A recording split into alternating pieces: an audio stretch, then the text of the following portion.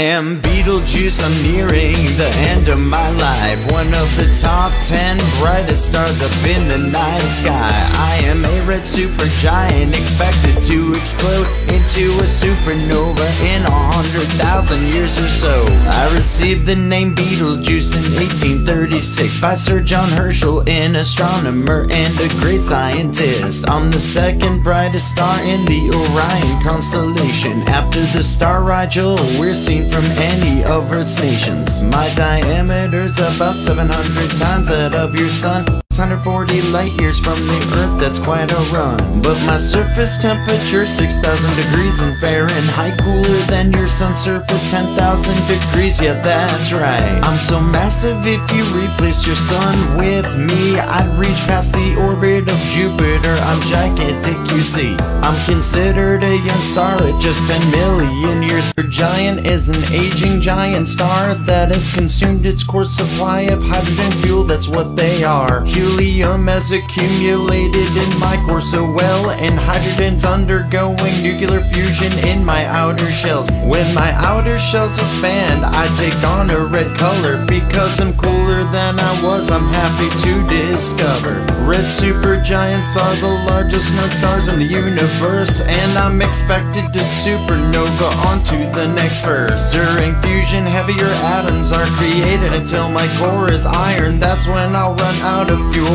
without even trying. When that happens to a star as massive as me, the entire star collapses and explodes as a supernova.